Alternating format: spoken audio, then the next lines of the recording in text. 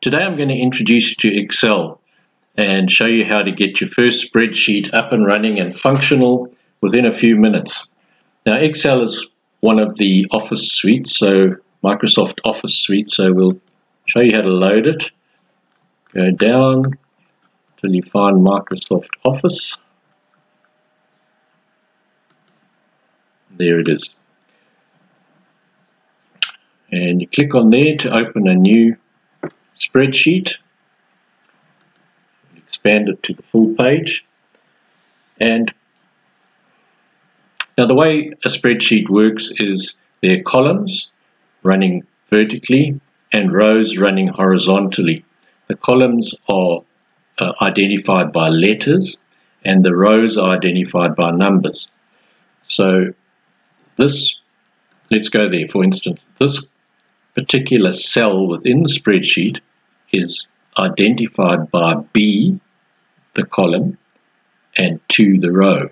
So that cell is called B2, and if you look there, because I've clicked on it, there, there's B2 appearing so that I know where I am.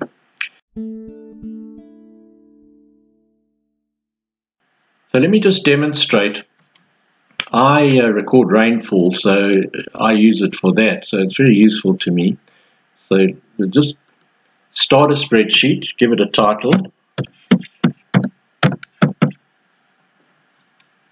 And then the next thing you're going to need some headings. So the rainfall uh, we'd have to record every day. So we'll have our days here. And uh, Excel is very clever because if you put 1 and then you follow it by 2 and then you left click, drag down, let go uh, and you select those two cells together, Excel will realize that you're starting to form a series and it'll predict what the next number is. So if you hover on the bottom right hand corner of your selected area, you'll see a black cross appear. Left click there, drag it down, and as you're going down, you'll see next to where you are, it'll give you the number of rows that you've already covered. So there's 30 rows I've covered, and there's 31, and that's the maximum number of days in a month, obviously. And then we'll probably want a total. And then going the other way, we want uh, to record each month's rainfall. So we'll start with January.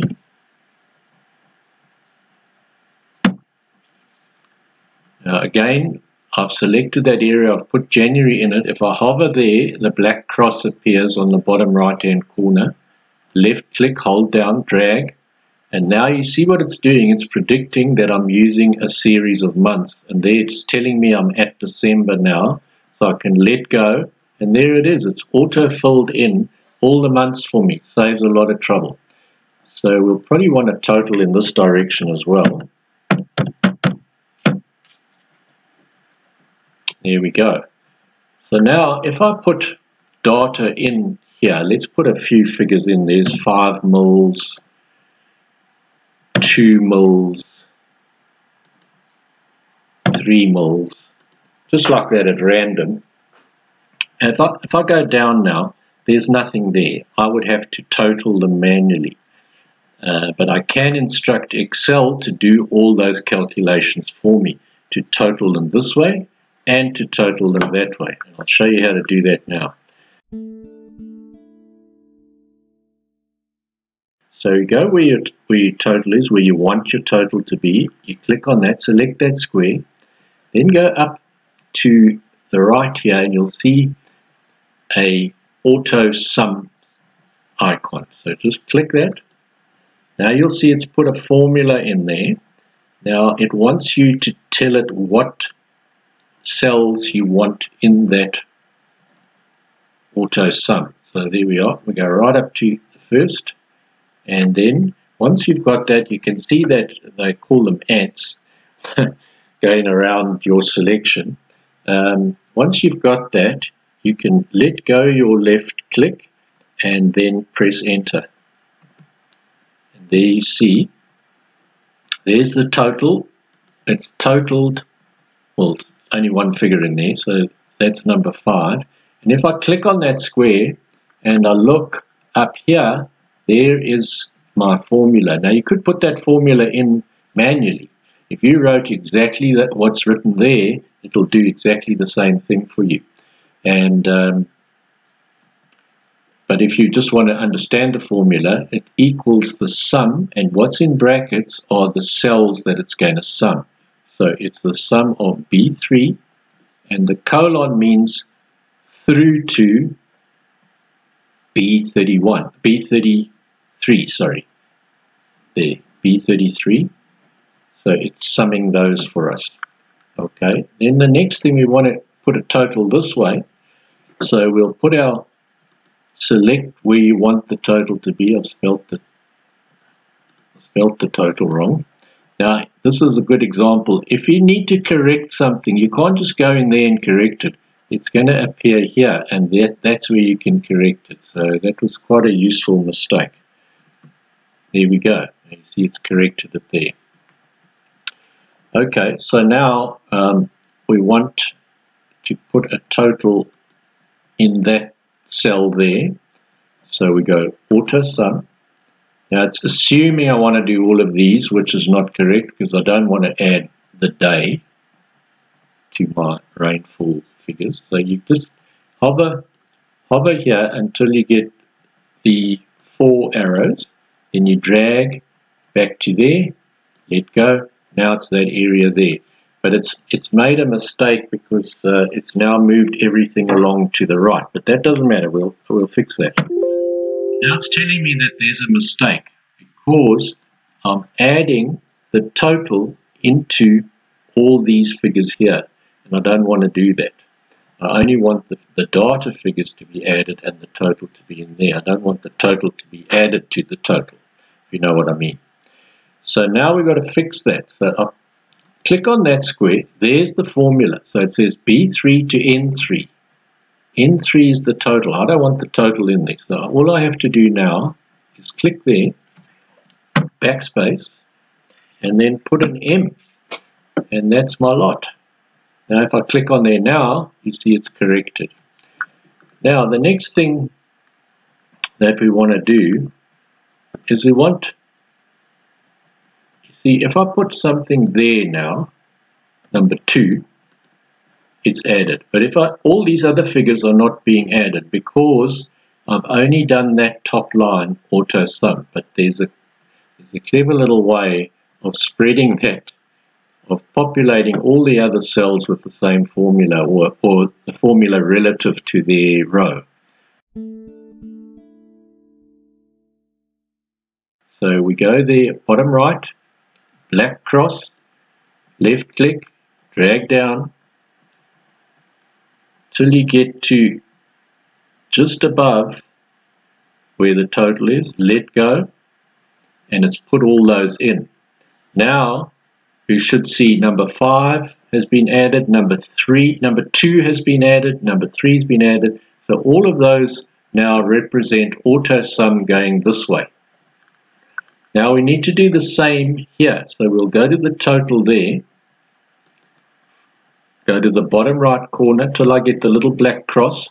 Left click, drag it.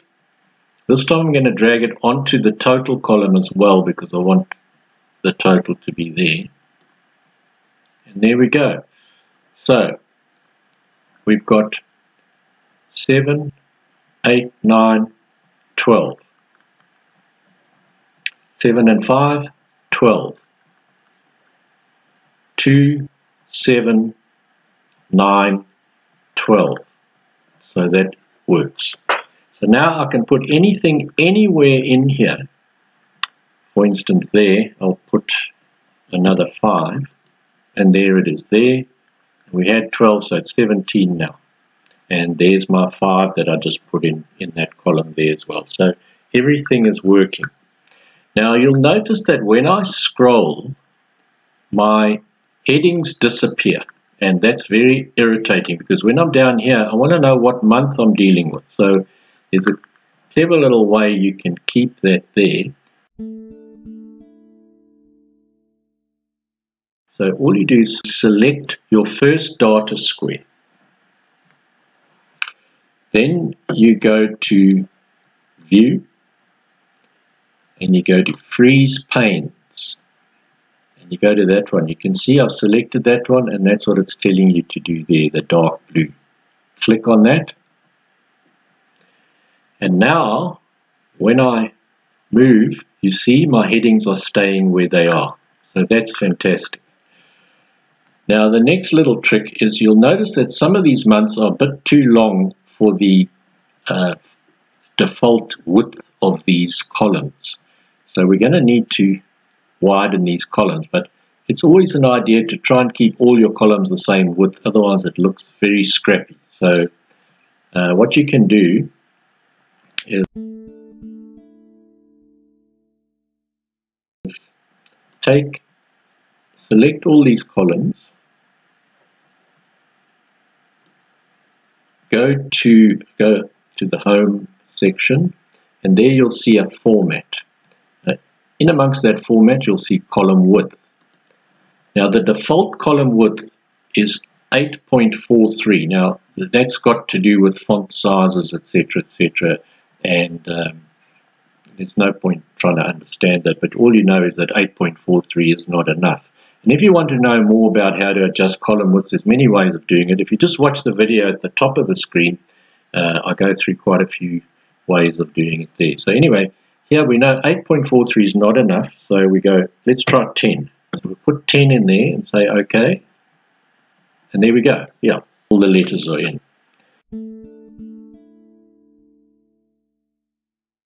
So there we go. Then the other thing you can do is you can put borders around your headings, for instance. Uh, this little section here, just put a says, uh, thick border, and it shows you the dark area, so it's all around. Do that, and I'll put one here as well.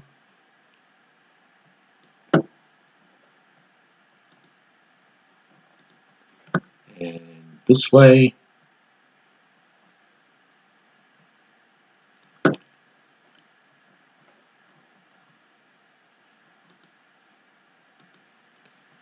And then we may as well go across this way as well.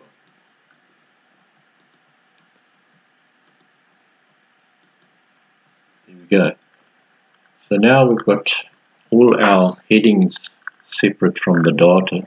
The other thing you can do is you can perhaps color your headings a different color to the data cells. So you go here with this fill thing and it's quite good to just use a very light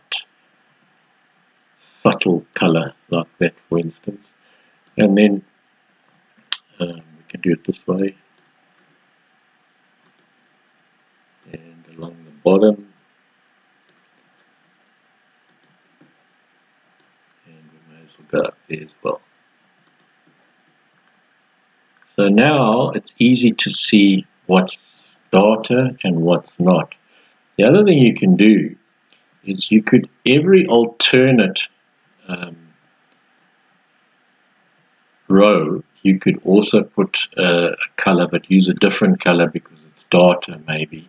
So what we could do is say, do that one, try another type of color, that's better, and go there. This is just to help you to navigate around your spreadsheet a bit easier. So you could do something like that as well. So there you're starting to take shape and now all you do is every time you get some rainfall, let's say on June the 6th you got 10, the 4th sorry, you got 10. Now you'll Nothing will happen until you either click on another square or you press enter. You watch. Now you'll see it's gone into that. Added up there, and go this way, and it's added up there as well. So that's fantastic, and the total, the grand total has changed. So this this total would be your year-to-date figures. So you could have a look here and see how much rainfall you've had up to that point. Or if it's a budget, it could be um, your expenditure year to date. So that's quite useful.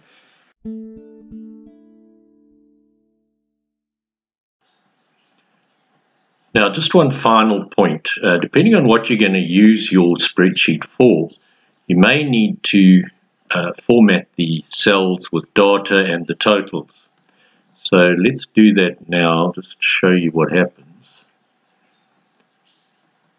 Just select all the data and totals, and then you go to Format, this one on the right here, click that, and then look for format cells. There it is. And this gives us some options now. if, say, you were doing a budget, you might want to format it as currency. So if you wanted a dollar sign there, you leave it as, as it is, and two decimal places would be perfect. So let's just try that, and I'll format it, and you'll see what will happen to my data. You see, all the what should be millimeters are now dollars. It's given them that. And uh, there's two decimal places. So obviously, if you were doing a budget, that's how you'd format these cells. But we're not doing a budget. This is for rainfall. But I might say, if I went to number, I might say I want two decimal places. Uh, because uh, there might be points of a millimeter of rainfall. So let's do that and you'll see what will happen.